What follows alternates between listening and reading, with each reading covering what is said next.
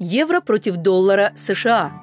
Евро является второй валютой по количеству заключенных сделок, разумеется, после доллара США. Евро также входит в число самых безопасных валют мира. В данный момент 18 стран-участниц ЕС используют евро как национальную валюту в то время как доллар США – наиболее конвертируемая мировая валюта, и он стал в некотором роде мерилом для глобального рынка. Доллар в качестве основной резервной валюты и пусть даже в виртуальной форме можно найти в каждом центральном банке мира. Евро против доллара в данный момент наиболее популярная среди трейдеров пара. Ее котировки зависят от ситуации в еврозоне в сравнении с рынком Америки. Поэтому любая публикация данных относительно ВВП в США или в еврозоне искушает трейдеров сыграть на разнице между этими валютами. Чтобы узнать больше об активах и научиться проводить с ними сделки, смотрите наше онлайн-шоу на supertradertv.com.